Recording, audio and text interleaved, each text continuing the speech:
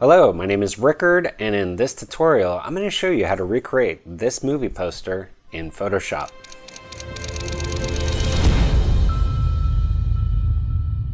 So we're going to cover quite a few things in this tutorial from gradient maps to vector masks to typography and also adding grunge. If you want to follow along, in the description of this video I included all the assets that you need as well as a link to the original movie poster. Alright, let's get started. Alright, let's go to File, New, and we're to make a movie poster and the width is to be 2000 pixels and the height is to be 3000 pixels. You can leave the resolution at 144. We want to be RGB, 8-bit is fine. And let's hit create. All right, next, I want to create a guide layout. So we're going to go to view, new guide layout. And I want it, well, all these settings are already set. So I'm just going to go back to default and we'll start again. So for columns, I want four. I don't want any width or gutter, so I'm going to delete that. For rows, again, I don't want any gutter, but I want six. And then I do want a margin. I want a 100 top margin, sorry, a 110 top margin, a 100 left margin, a 110 bottom, and a 100 right. So that's what I want. Let's hit OK. Next, I'm going to do File, Place Embedded. We're going to pull in our background. So let's go ahead, place that. Hit OK. Next, I want to create the white frame around it. So to do that, I'm going to use my rounded rectangle tool. I want to make sure it's on path, not shape. And let's make the radius 100 pixels. All right, and then I'm going to start in the center here. Click Start Dragging, and then after I've started dragging, I'm going to hold down Option so that it's making my shape from that center point. And we'll just snap it to these guides that I made. I'm going to switch to my Path Selection tool here, and then right mouse and click on Create a Vector Mask. So there you go. We now have our vector mask on there. Next thing we can do is add our gradient map. So let's go here, go to gradient map, and I want to click on this. And what that's going to do is it's going to clip this to that layer so that it's not affecting the background. Just not really making any difference here, but it will once I start changing these colors. All right, so let's click in here. The first color we're going to do here is going to be 0 C 4 C 4 1. All right, so it's kind of a aqua green tealish color. Let's hit OK. And then the next one is going to be 4, 5, D, C, D, E. So basically a much brighter and slightly bluer version of that same color. So let's hit OK and let's hit OK. And you can see here if I hold down option, here it's affecting the background. Now it's not. So that's what that little thing does. It's the same as clipping a layer here, which you can do by holding option between the two layers. All right, next, let's go to File, Place Embedded, we're going to pull in the guitar and let's make this 56. I'm to drag this down so it's just peeking over right there and I want it to be centered so just using that right there and then let's place the anchor point up here so I'm going to do that by holding option and clicking right there perfect and then I'm just going to rotate the guitar a little bit so that my center down here is also centered. So that's about right. I think I might just want to go to 55.5. And let's hit OK.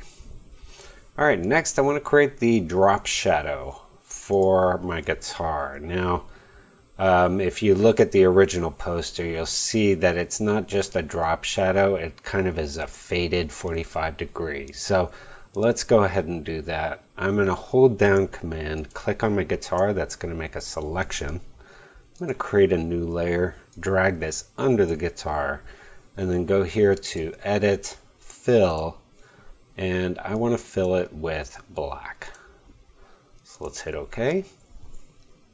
And then I want to deselect. Deselect is Command D.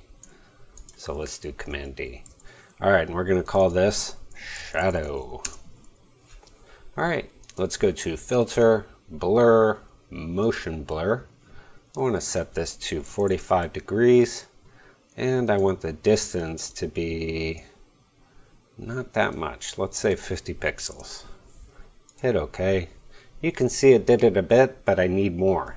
All right, so let's go ahead and repeat that motion blur. I'm going to do that a few times here until our motion blur is a lot more evident. All right, and let's make a copy of that. And that's about how strong I want it here, but not really up there. Let's go ahead and add a mask to this top one. I'm going to go on my brush tool and just with a soft brush that's relatively large and I can control the brush size by holding down control and option and dragging left and right. With black as my color, I'm just going to paint out this side of the shadow.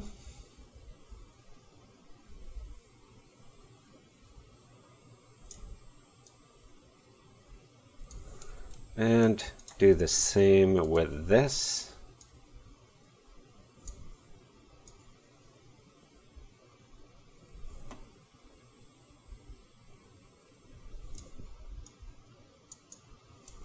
like that. Perfect. Okay, and then we can just group these together. And let's put the guitar in there too.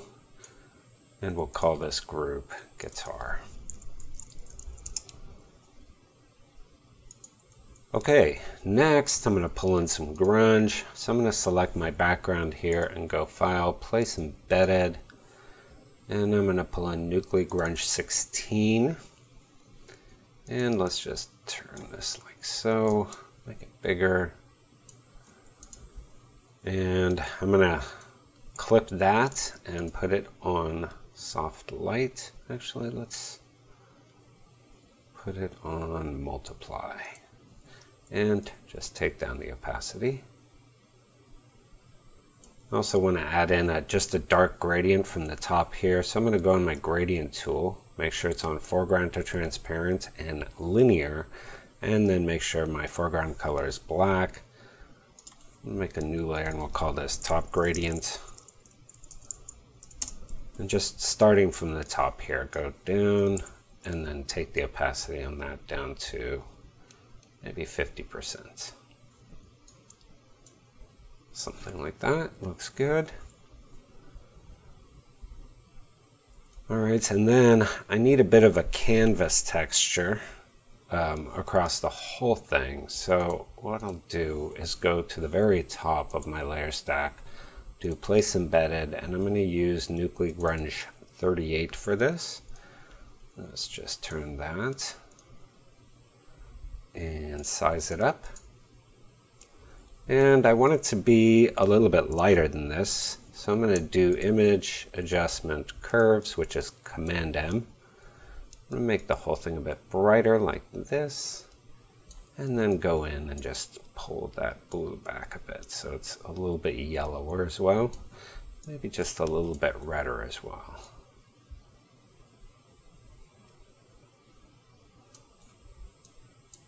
And I'm pretty happy with that. Let's hit OK, and let's put this on multiply. All right, so now we're ready to start putting on some of the typography. Oh, actually, one thing before we jump onto the type is on the guitar, I want to add just a layer of sharpness to it. So it's already a smart object, so what I'm going to do is I'm going to go Filter, sharpen, unsharp mask. And let's just look right here.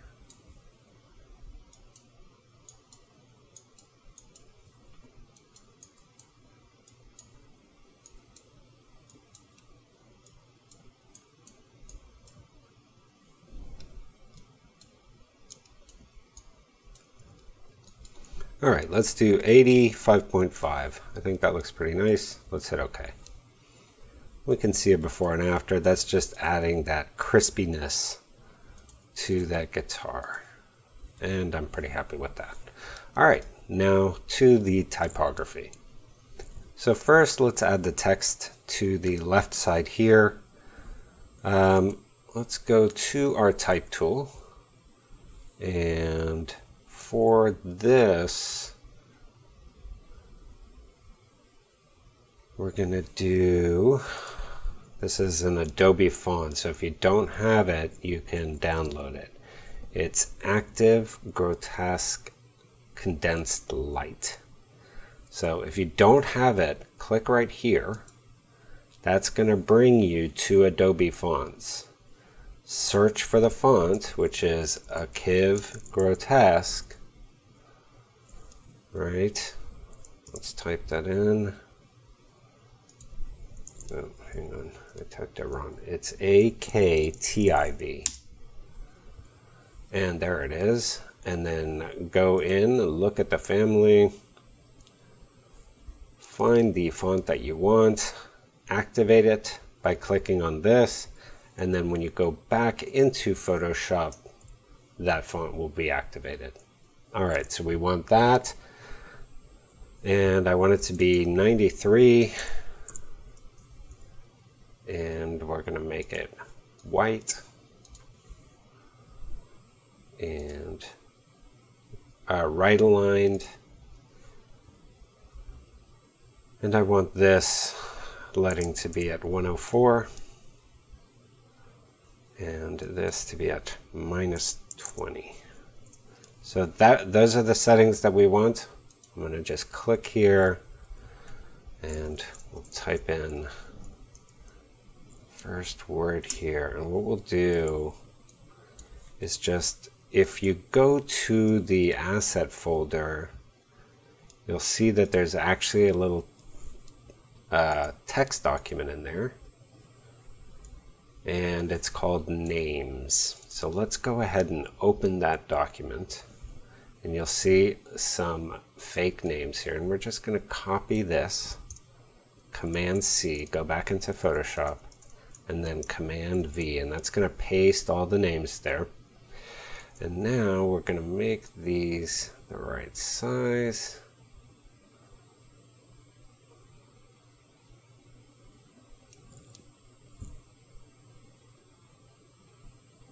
Yeah that looks pretty nice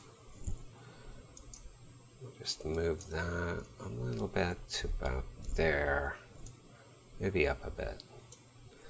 So right about there, that looks good. And then if I hold down Option and just drag here, what it's going to do is it's going to make a copy of that layer.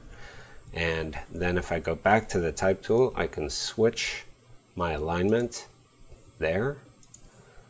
And just drag this, want this to be on the other side here. And then let's go back to our text document. We'll copy these names.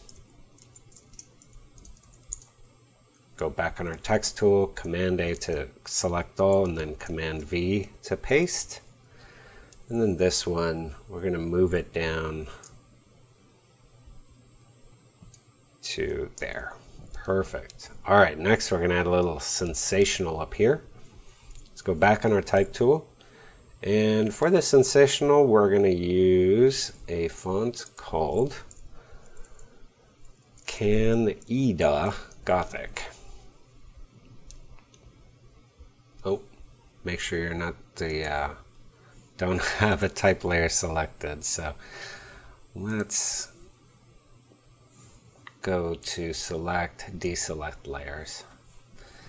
Then when I go back to my type tool, I can change this without worrying that it's typing something. So let's start typing here.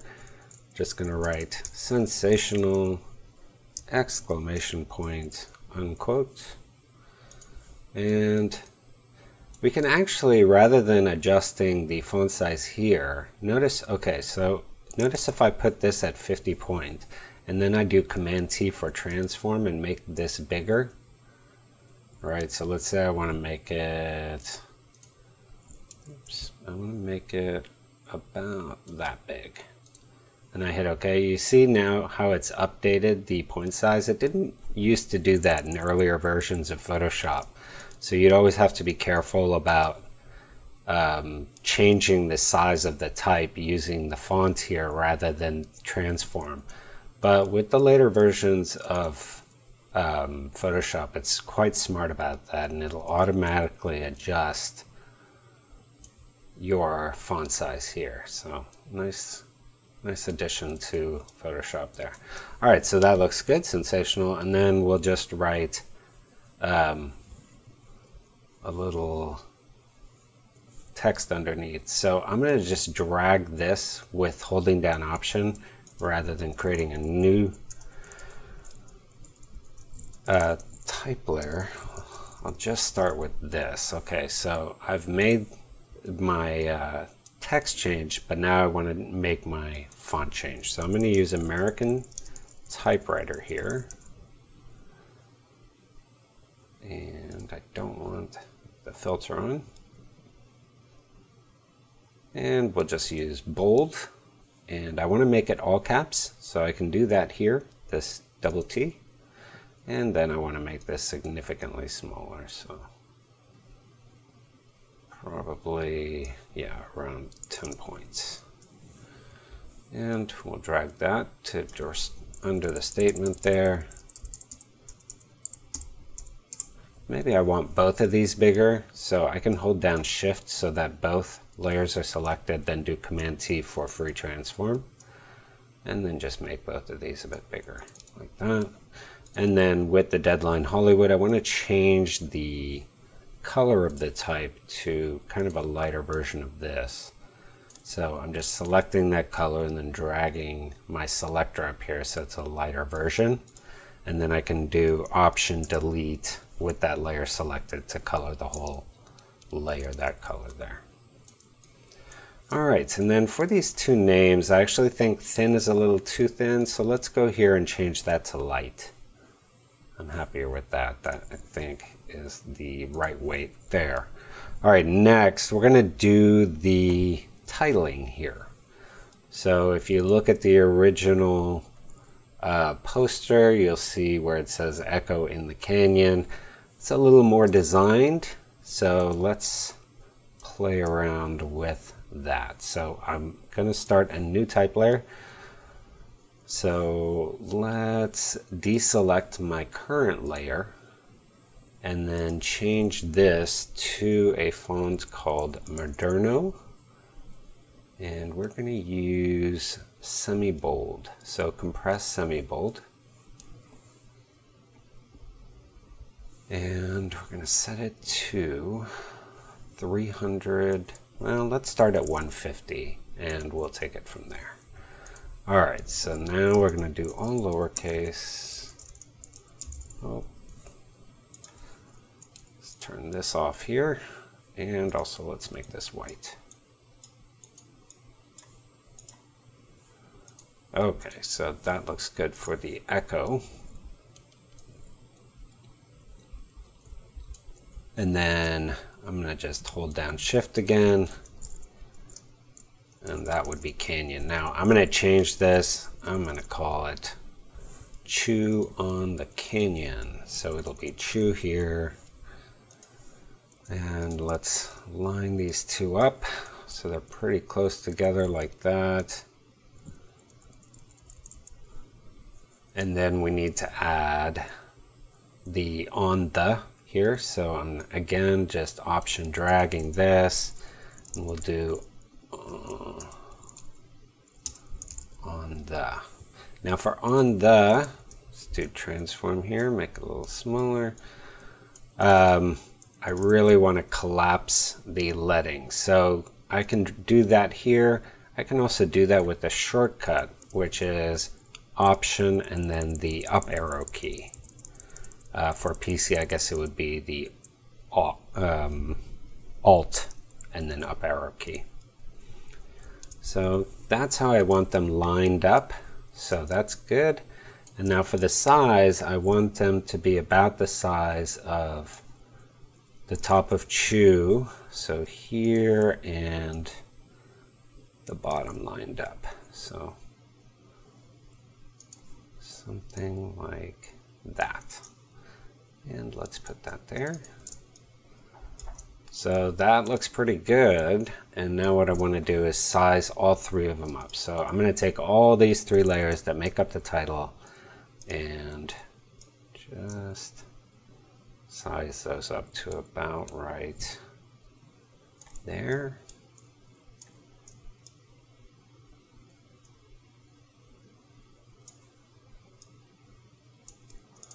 Good. And then what I want to do is take this, we'll make one more copy of this layer. Again, just take the layer, start dragging, hold down option, that'll make a copy. Here we're going to write a documentary, add some spaces by Andy Warhol. You can add whatever name you want. And then we'll just transform Make this smaller.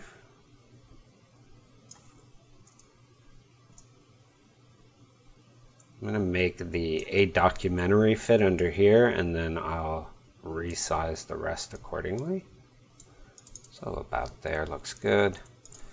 And then I can add some more spaces there, like that. I think I probably want this at minus 15.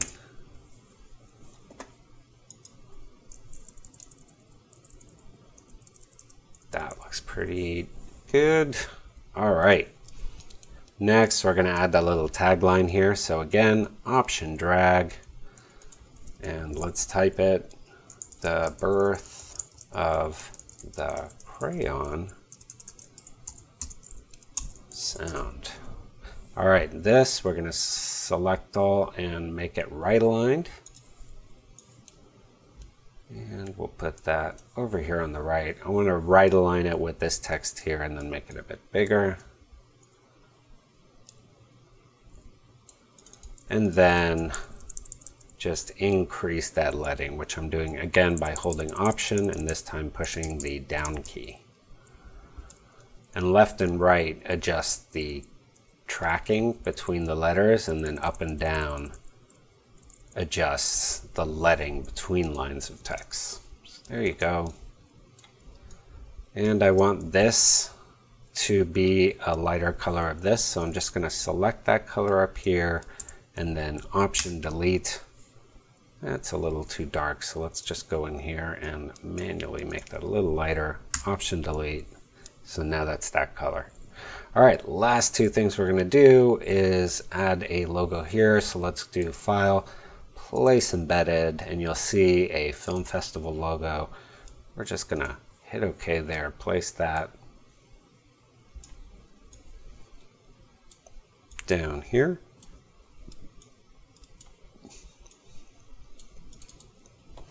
And I want to make the soundtrack available this same color. So how I can do that, this is all one layer, is I can simply make a box like this add a new layer and just fill a box like this with the color that I want it to be. And then using the clipping mask, because this bottom layer has transparency, it'll retain that transparency and just transfer the color onto the layer below. So that's a nice little trick there. All right, next file, place embedded. You're gonna see the film credits. We're gonna do the same thing. Place that down here. Like so. And I actually want all of this to be that color so I can in this case just do solid color it's going to make it my foreground color and then I can clip this to that and then if I want to change this color all I have to do is double click this and then I can change the color of this text. Okay, last thing is I actually want some of my paper texture to be on top of all these uh, text layers. So what I can do is I can take all my text and go Command G and we'll call this titling. So that's all my titling. What I'm going to do is I'm going to take this Nucly Grunge layer, hold down Option so I'm making a copy, put it above and then clip this to this group. So now what it's doing is it's using the transparency of this group to determine where this goes. And now on this layer, I can change the opacity to 50%. So now what it's doing is it's putting 50% of that texture on top of only my lettering, not affecting the background. A great little trick there to get less texture in one place than another. And there you have it. Let's turn off our guides. Uh, yeah, in not such a long a time, we created an entire movie poster from scratch. Pretty amazing, guys. Give yourselves a hand. That's how you create that poster in Photoshop. I hope you learned some new tips and tricks for using Photoshop. And if you like this video, please leave a like, uh, subscribe, share, leave a comment. I do try to answer all of them. And if you would like to get my Photoshop Starter Kit, which is free, I have included a link for that in the description of this video. Otherwise, here are some other videos that you can check out. And I'll see you next time.